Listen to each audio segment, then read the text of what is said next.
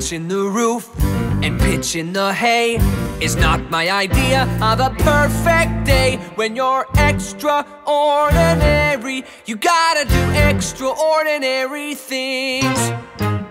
I'm not the type who loses sleep over the size of the compost heap.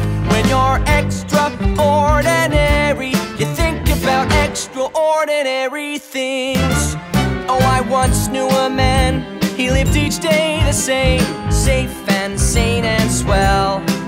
And when they told me he died, I didn't cry. All I could say was, How could they tell? Oh, looking at life from deep in a rut may give you a view of the sunshine, but it's unnecessary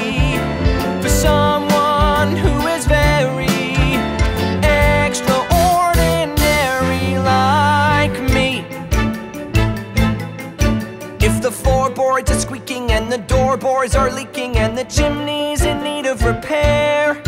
If the garden has brambles and the yard is a shambles, well, I'm terribly sorry, but I don't care.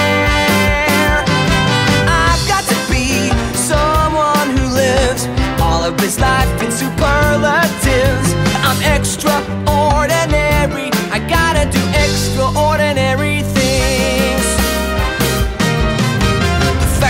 special. Is